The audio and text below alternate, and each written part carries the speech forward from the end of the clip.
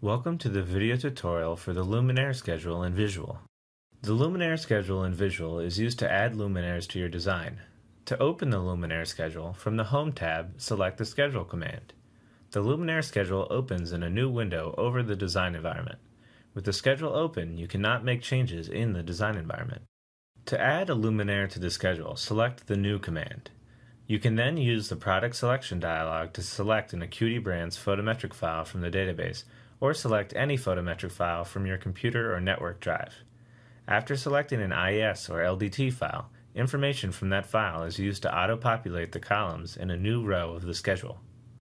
You can also add a new luminaire to the schedule by selecting an existing luminaire row and then selecting the copy command. This will duplicate all aspects of the source luminaire except for the label, which will be incremented to the next available letter designation. To remove a luminaire from your schedule, click in any cell in a row that you wish to delete, and then select the Delete command. If luminaires have been placed using this luminaire type, they will be deleted when the luminaire type is deleted. You will be prompted to confirm this deletion. You can edit any column in the luminaire schedule by clicking in the cell. Most cells contain simple text or numeric information that can be edited in place. The symbol and file name cells have unique behavior. Clicking on the symbol opens the Luminaire editor, allowing you to edit the symbol, create a new Luminaire configuration, as well as view and assign 3D models for use in renderings. Clicking the button in the File Name cell will open the product selection dialog, allowing you to replace the photometric information but retain the same label designation and light loss factor. If you have a luminaire type with a multi-luminaire configuration, you can use this to place a different photometric file within the configuration. You can also import and export visual luminaire schedules.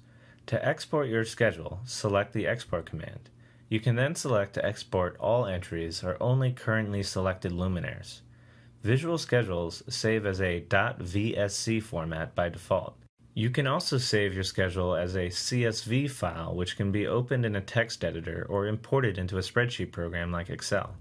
Only Visual Schedule files .vsc can be imported back into Visual.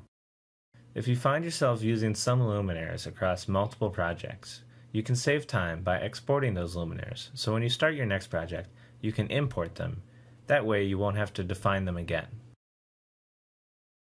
You can toggle the visibility of columns in the schedule using the columns command. Column width can be adjusted by selecting the edge of a cell and dragging. To change the order of the columns, drag and drop the header of the column. You can save your changes to column visibility and order using the Save as Default feature in the Columns menu. You can revert back to the default column settings by selecting Reset Columns. If you enter your own Luminaire type labels, you can sort the rows alphabetically using the Sort command. You can create ISO illuminance templates for luminaires using the Templates command.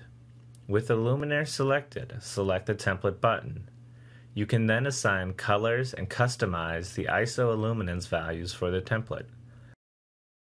Selecting the Apply to All checkbox will use the current settings for all luminaires in your schedule.